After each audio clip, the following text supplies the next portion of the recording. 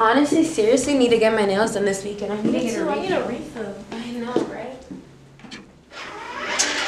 Honestly, girl, do you know what's happening with Ballot Question 3? I don't really understand what it means. Like, is it only for transgender people? Like, is it only for the bathroom? What does it really mean? Like, what do we vote for? I think it's mainly about transgender people in bathrooms, but I'm not really sure. Do you know what you're gonna vote for? I don't I'm, know. I'm not sure. Like, is it gonna keep it in place or is it gonna take it away? Like, I don't get it. I don't know.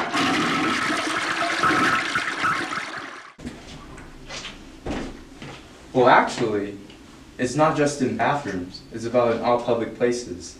And it's not just about trans people. It's about all gender identities.